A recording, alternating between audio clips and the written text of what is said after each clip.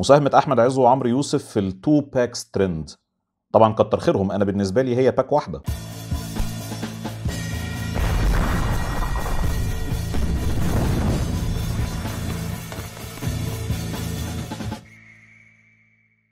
أنا ولاد رزق.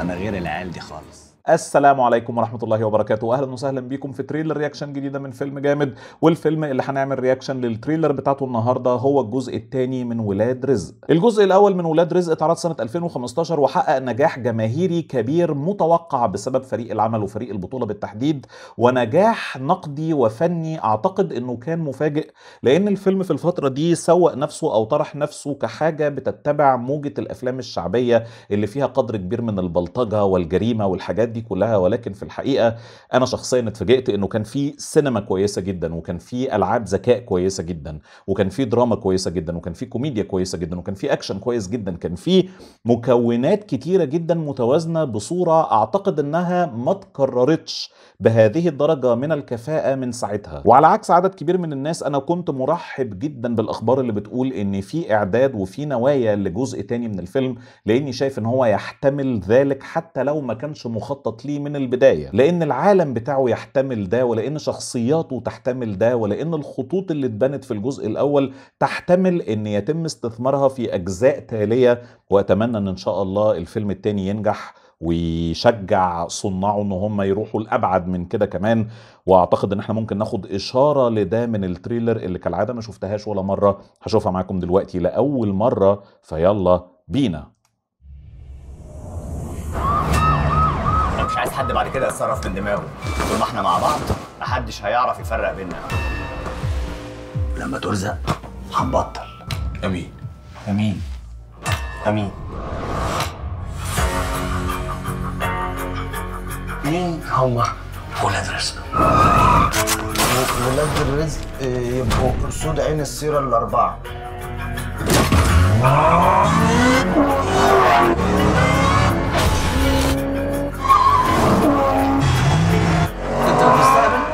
ولا اهبل لا أهبل برافو. لميني بقى اخواتك عشان اعرفكم في شغل. شغل سليم. ما فيهوش هوا. مين واد ده؟ ده عاطف الاصل يا باشا. انت عبيط ولا بجد؟ أيوه.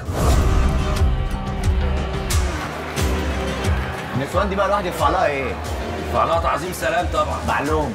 في مثل كده بيقول اللي ما يعرفش الصقر يشويه. وانتوا ما تعرفونيش. ده غباء.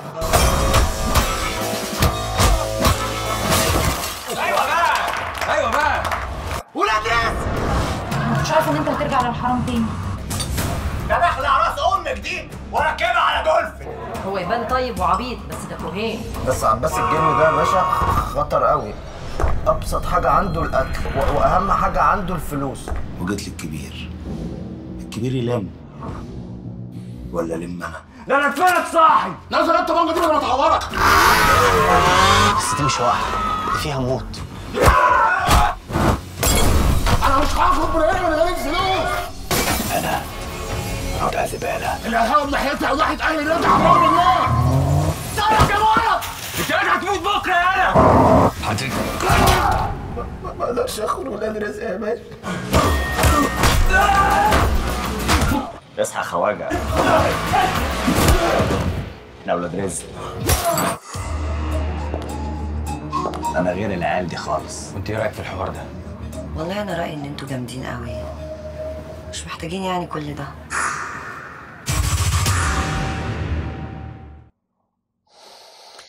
okay. في في حاجات عجبتني جدا بتحديد الأكشن. الأكشن شكله حلو. آه الحوار كمان اللي تم اختياره عشان يظهر معانا في ال trailer شكله حلو وجامد متبني كويس بيعكس الشخصيات زي ما إحنا فاهمينها من الجزء الأول بشكل كويس. تركيبة جانب الشر والخط الرئيسي بتاع الحبكة إيه المرة دي؟ يعني مش هقدر أقول إن هو غامض تماما ولكن يلخبط شويتين. يعني لما طلع إياد نصار أنا حسيت إن هو بيحمل لواء شخصية شربيني اللي عملها محمد لطفي في الجزء الأول. والصراحة أنا كنت أتمنى إن الجزء الثاني كله على بعضه يتبني عليها لأن كانت تبقى بصح assist عارف أنت assist كده في ال trailer من الجزء الأول للجزء الثاني وبتاع بعدين طلع باسم السمرة. برضو مدي على شربيني شوية عندنا شخصيه بتاعت خالد الصاوي والتحقيق اللي هو بيحققه ده ولو إنه شكله مش تحقيق حكومة. ومحمد ممدوح كمان في أربعة الناحية التانية غريبة شوية.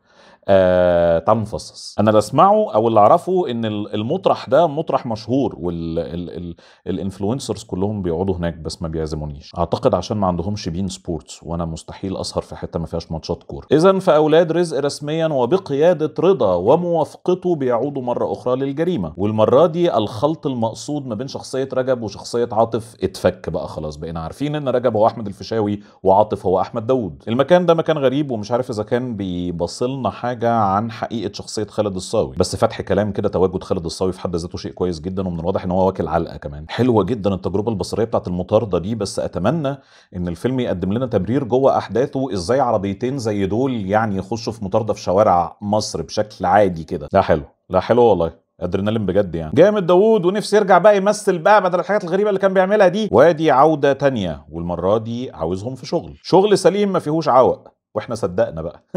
حفلة شبه حفلات The Fast and Furious عمرو يوسف بقاله كتير غايب مش عارف تلفزيون وسينما أعتقد كمان بقاله سنة دلوقتي سنتين بقى بما إنه من رمضان اللي قبل اللي فات لا فيلم ولا مسلسل لو أنا فاهم صح. وده شيء محبط الصراحة يعني كان أتصور إن استنادا على ولاد رزق وعلى هبته وعلى الحاجات اللي عملها في التلفزيون المفروض كان يبقى في مكانة مختلفة تماما دلوقتي. العدسه يا اياد يا نصار العدسه عيني وجعتني ليك يعني تعاطفا. ما تعرفوش الصقر دي شبه ما سألتوش على شربيني بس ما سألتوش على شربيني كانت اصيع جازال شوية من Kingsman وأسوأ تطبيق لل bottle cap challenge. حلو العجن ده. أنا بحب العجن جدا. وحلوة الحركة دي. دي شفناها أول مرة فين؟ في هنا وسرور أعتقد مع محمد إمام. بس المرة دي مختلفة زاويه مختلفة. صوفي نار عشان ليه لأ؟ يعني يجرى له حاجة والله لو ما زعقلناش في كل تريلر على الأقل. أدي ظهور لخالد الصاوي في مشهد خارج مشهد التحقيق اللي كنا بنتكلم فيه. يعكس إنه بكل تأكيد أعتقد مش حكومة واعتقد إن هو جزء من المكيدة اللي جزء منها محمد ممدوح. فهو الضحية لأنه هنا مش مبطوح في دماغه وبعد كده بي عاوز حقه يعني وكده. ده اقتراحي في القضية. يبان طيب وعبيط بس ده كوهين. ماشي. عباس الجن باسم السمرة. كتير. هم ليه كل شوية ماشيين بالتشكيل دوت بطقم مختلف. بعيدا عن الهزار أنا سعيد بوجود أحمد عز في الفيلم وسعيد باللي هو بيعمله في الفترة الأخيرة. الراجل بيجتهد جدا وبيتحسن فيلم عن فيلم وعمل عن عمل وأعتقد إن بناء على اجتهاده هو فعلا يستحق مكانته الحالية. أتصور جدلا يعني على قمة هرم النجومية في مصر. حلو ده بقى. حبة الأكشن دول مع حاجة كده فيها إيه؟ عنف مبالغ فيه يعني. ده فيه في موت عنيف. مين ده؟ مين ده؟ ده حد من ولاد رزق؟ يعني الدقن مديه شوية على عمرو يوسف بس أستبعد طب wow!